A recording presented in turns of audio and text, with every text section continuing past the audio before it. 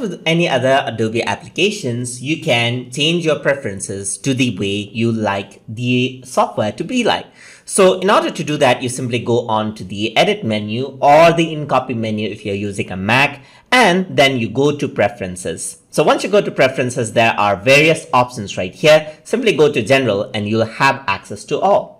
So you can reset all the warning dialog. So that's the general settings that is available right here. You can work around with interface and there's various options for the interface as well. So the basic one right here is you can change the color of the interface just by clicking it. So you want a dark theme or a light theme. It is up to you.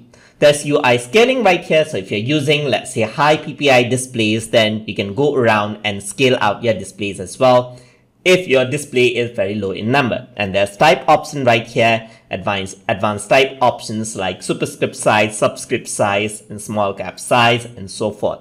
You can go around as well, and there's uh, composition options, there's units and increments right here for um, uh, for like rulers and everything else as well. So right now the size leading is 2. So you got points just like this. So you want to change it into millimeters. You want to change that out just like that. So there's different options right over here as you can see.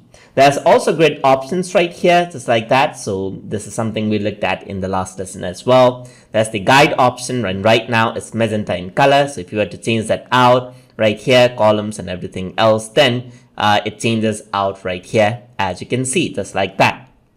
So you can change the overall output with the preferences right here. So you can go around and change everything out.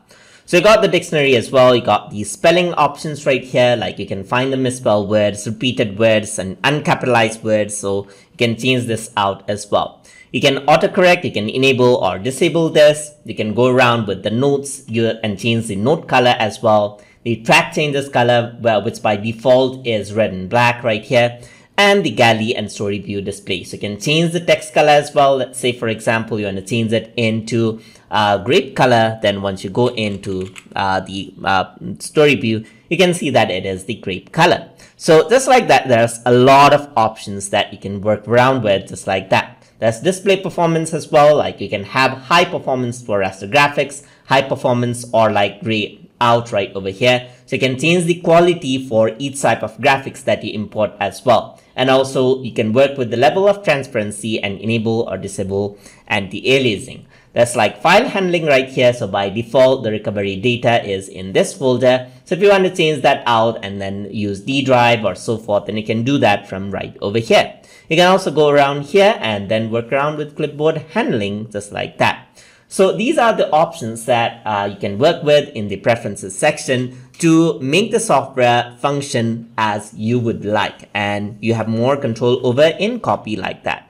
So hope you guys learned something as always and as always please like, comment, share and subscribe.